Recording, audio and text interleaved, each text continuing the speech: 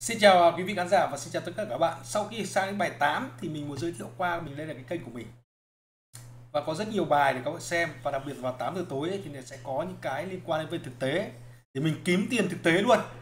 Và cái kinh nghiệm của mình trong thực tế để quý vị thấy chứ không phải là, là chỉ có chém gió. Rồi chúng ta tiếp tục nhá. À, chúng ta đã hết cái phần gọi là bây giờ chúng ta sang phần hệ thống trò chơi. À, hệ thống trò chơi file ấy, thì nó có 3 1 2 3 4 5 6 thì thưa các bạn những cái 6 cái này thì bắt đầu chúng ta vào từng phần. Có nghĩa là bài 7 bài 8 này chúng ta sẽ là thu nhập. Đây, thực ra thu nhập vốn capital ấy, và cơ học. Giới thiệu à, các bạn những cái phần để làm sao để mà các bạn à, hiểu nào để mà dùng giày làm sao bạn có chiến lược chiến lược ấy. À, cái chiến lược để các bạn kiếm tiền và nó có cả cái hệ thống gọi năng lượng, hệ thống nhiệm vụ và hệ thống thành tích. Và kể cả những vấn đề chống gian luận và thuế. Thì đây thì thưa các bạn, thì đây. Giới hạn thu nhập của chế độ solo. Chế độ solo có nghĩa là đánh chơi một mình đấy. Ví dụ các bạn, một mình này, các bạn chỉ có đúng một đôi giày thôi. Và một mình bạn và một đôi giày. Người ta gọi chế độ solo. Có cả giới hạn năng lượng hàng ngày, giới hạn mã thông báo hàng ngày. Các giới hạn này hạn chế năng lượng và mã thông báo của người dùng có thể có mỗi ngày nó chỉ có hai năng lượng thôi các bạn ạ. Và các bạn biết là mỗi một năng lượng các bạn bận có được có 5 phút. Và bạn à, và mỗi, mỗi ngày các bạn có mất có 10 phút kiếm tiền. Và giới hạn năng lượng hàng ngày này thì nó là người dùng ngày bắt đầu trò chơi với hai trên hai năng lượng ấy, thì năng lượng đó tối đa ở 20 trên 20 có nghĩa là cái mức năng lượng là 20 trên 20 à, các bạn nên nhớ là 5 phút 20 thì các bạn 10 tiếng các bạn ủa nếu các bạn mà cao nhất các bạn nên nhớ là 10 tiếng. 5 phút mà hai tiếng chứ đúng không? 5 phút. 5 phút mà nhân với cả 20 là 100 phút à? À đúng rồi. Mình xin lỗi các bạn mình nhận nhầm. 100 phút rồi tiếng mấy đấy?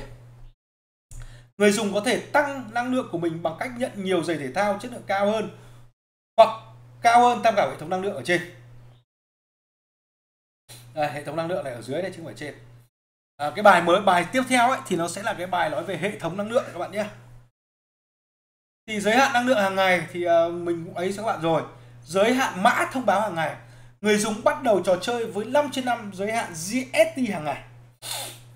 Giới hạn mã thông báo hàng ngày đạt tối đa ở mức 300 GST và 15 GMT người dùng có thể tăng giới hạn mã thông báo hàng ngày của họ bằng cách tăng cấp cho giày thể thao của họ.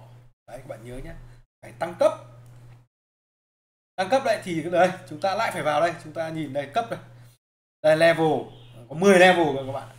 Nhưng mà làm sao để nó tối ưu hóa thì thưa các bạn chỉ là nó sẽ có ở trong phần tiếp theo. Ví dụ là cái giày common ấy, giày bình thường là bao nhiêu là tốt nhất thưa các bạn? Cơ chế kiếm tiền thì cái này thì mình nghĩ rằng là các bạn tự nghiên cứu nhé Đấy, tự nghiên cứu. Có nghĩa là người chơi này GST là earning là E được viết tắt là E. Đấy, các bạn nhớ thế. Bằng số lần đấy. Nhân với cả cái BNB là gì này? BNE này hiệu quả đi giày thể thao của người chơi. K là tốc độ trung bình của người chơi.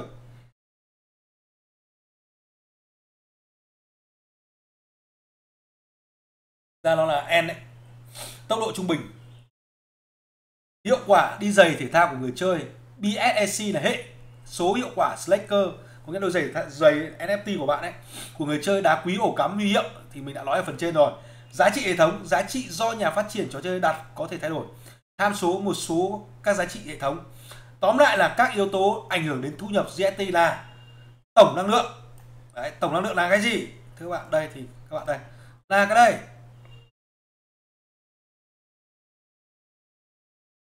Đây là cái số năng lượng này bạn có trong một ngày và mỗi 15 phút là các bạn tiêu hao một năng lượng. Đấy, các bạn nhớ điều đấy. Và bạn có hai năng lượng lúc ban đầu thì các bạn chỉ có mất 10 phút là các bạn đã kiếm ra cái số tiền mấy trăm nghìn hàng ngàn rồi. Đấy, trong cái thời gian đi bộ của các bạn. Cho nên các bạn mà giờ này các bạn không tham dự là rất phí. Mình nói thật với các bạn đấy về sau người ta thay đổi đấy. Tốc độ di chuyển tốc độ di chuyển tùy vào khả năng của các bạn. Các bạn chọn đôi giày gì thì mình đã nói rồi giày đi bộ thì là một đến khoảng bốn cái một đến sáu cây số các bạn chọn đôi giày đi bộ chuyên nghiệp thì nó rơi vào uh, jogger ấy thì các bạn đi vào từ một uh, ờ, từ 4 đến 10 km trên giờ. Các bạn ờ, runner thì các bạn nhớ là tốc độ sẽ càng ngày càng cao hơn. Còn cái mà thành giáo trainer ấy có nghĩa là uh, người huấn vận động viên hoặc là huấn luyện viên ấy, thì từ một các bạn nhớ là từ 1 km trên giờ đến tận 20 km trên giờ cơ. Và giá giá trị của nó cũng là uh, giá thành của nó cũng khác nhau và các bạn phải biết mình là ai như mình dương béo là to huỳnh huỳnh à, thì dương béo chọn đi bộ. Có nghĩa là tốc độ chỉ 1 đến 6 km trên giờ thôi. Các bạn ạ, và chỉ mất có 10 phút là là kiếm bắt tiền rồi. Thì nó sẽ giày thể thao loại thuộc tính chất lượng, cấp độ. Loại thuộc tính chất lượng thì các bạn biết loại gì này. Loại gì này? Thuộc tính như nào này? Thuộc tính là những cái ở trên các bạn đã được biết hết từ cái phần bao quát rồi trong cái giày thể thao, các bạn biết hết những cái này rồi, đúng không? Và cấp độ, thì các bạn biết rồi đá quý đá quý là gì? Đá quý là cái phần ở trong đá quý và ổ cắm. Các bạn cũng biết rồi ở bài trước mình cũng nói các bạn rồi đúng không?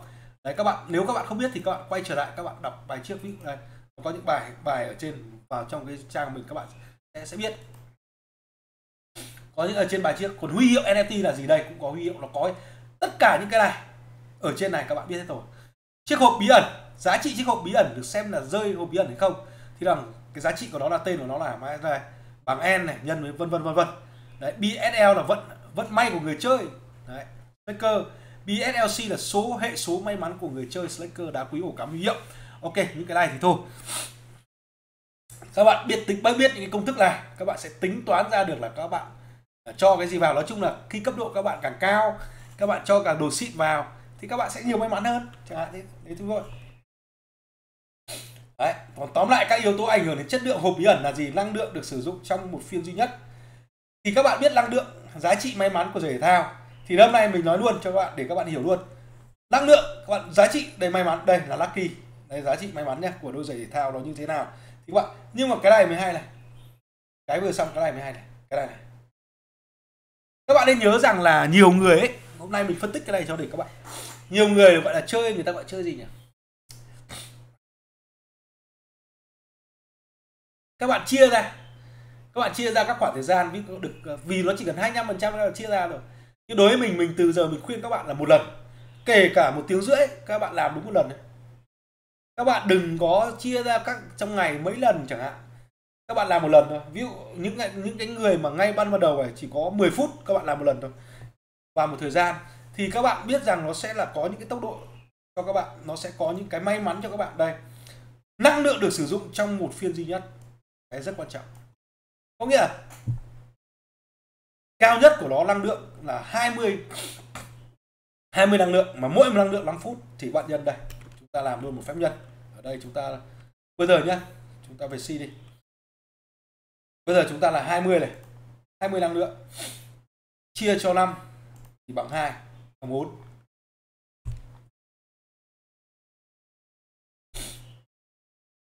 bờ 5 phút đi 5 phút mà nhân 14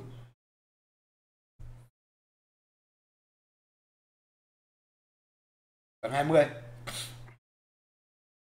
4 uh, bằng 20 uh, à, mỗi một cái năng lượng đấy là một là 5 phút. À quên mất mình nhân 5 xin lỗi các bạn là nhân 15 bằng 100 100 phút này thì nó rằng rơi vào khoảng tầm à, uh, 1 tiếng 40 phút.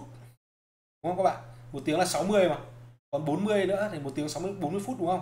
Thì các bạn mất có một tiếng 40 phút các bạn hãy hoạt động luôn một tiếng 40 phút trong một phiên duy nhất. Ví dụ bạn tập một tiếng 40, 40 phút luôn. Là các bạn tốt nhất là như vậy. Và người ta thấy rằng là các bạn cái phần mềm nó biết mà. Cái AI nó biết. Thì nó sẽ tốt còn bạn đừng chia lẻ ra. Đấy thì tóm lại là các yếu tố ảnh hưởng đến chất lượng hộp bí ẩn. Chất lượng hộp bí ẩn là gì? Khi các bạn có may mắn rồi. Có nghĩa là các bạn đã may mắn rồi đấy thì cộng thêm cái giá trị may mắn các bạn ra ra được đây là gì? Ra được những cái đôi giày tốt ra được những viên ngọc tốt ra được uh, viên ngọc tốt xin lỗi các bạn ra được viên ngọc tốt không ra giày. Ra được cái gì? CST nhiều. Thì các bạn có tiền tóm lại là như vậy. Các bạn có tiền có tiền. Đấy. thì đây là cái thu nhập thu nhập nó thì nó sẽ có những cái thu nhập như sau. Thứ nhất là các bạn hoạt động thể thao để có thu nhập. Trong cái hoạt động thu nhập thể thao đó thì các bạn phải có chiến lược của riêng các bạn. Chiến lược ở đây là gì? Chiến lược của các bạn khi các bạn sử dụng đôi giày nó như thế nào. Đấy thì nó có những tóm tắt. Như sau đấy là tổng năng lượng này tốc độ di chuyển này giày thể thao loại gì này đá quý này huy hiệu. Và thứ hai nữa là cái cách sử dụng về năng lượng của các bạn trong một phiên duy nhất. Thì nó sẽ mang đến cho các bạn những cái may mắn hơn. Thôi ok tiếp tục như uh, những cái trước thì các bạn nếu các bạn không hiểu liên lạc ngay với dương béo email là dương béo tv gmail.com hoàn toàn miễn phí. Nếu các bạn ở hà nội các bạn đến tận nhà mình sẽ tư vấn các bạn vì nó còn nhiều những yếu tố khác nữa. À, ở đây không có gọi là lùa gà đây mình thật sự muốn chia sẻ cộng đồng thì mình nói thật là như vậy. Thôi ok. À, xin chào và lại quý vị khán giả. Nếu quý vị thấy hay các bạn share và like cho mình. Quý vị không không thích thì thôi ok không có gì cả. Tất cả mọi thứ mình làm đây muốn chia sẻ thật sự với cộng đồng. À, và thứ hai cũng là mình học hỏi kiến thức. Mình học hỏi kiến thức thật sự luôn. Trong lúc mình nghiên cứu mình đọc thì mình làm luôn cái video này để cho các bạn xem và mình đã nghiên cứu xong rồi, mình đọc lại một lần nữa để cho nó chắc hơn. Thưa các bạn tôi xin chào và lại.